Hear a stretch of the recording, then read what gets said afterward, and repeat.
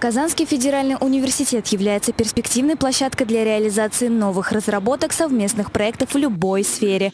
Так, 28 июня состоялась встреча с директором Национального научно-исследовательского института общественного здоровья РАМ и представителями компании «Русан Фарм». Сфера деятельности компании охватывает области, связанные с разработкой, исследованиями, производством, выводом на рынок широкого спектра лекарственных средств, предназначенных преимущественно для стационарной и специализированной медицинской помощи. Есть отдельные части, очень хорошие, но э, не хватает это связывающее звено.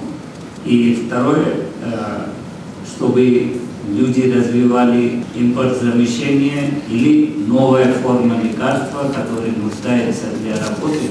Одной из главных целей визита стало подписание соглашения по созданию новой лаборатории на базе Института фундаментальной медицины и биологии КФУ. С нашей стороны тоже соглашение о сотрудничестве.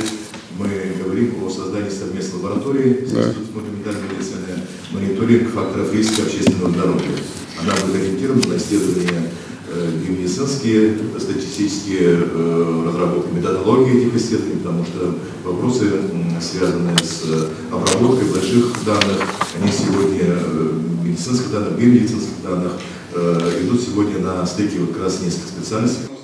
В дальнейшем же планируется создать целый медицинский центр, но пока не решены ряд вопросов. Елизавета Евтефеева, Роман Самарин, Univer News.